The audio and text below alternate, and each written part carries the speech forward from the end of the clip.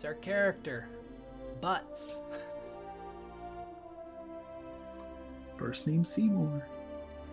No, his first name's Butts. I can't remember if it was in an early version of the game or guidebook or what.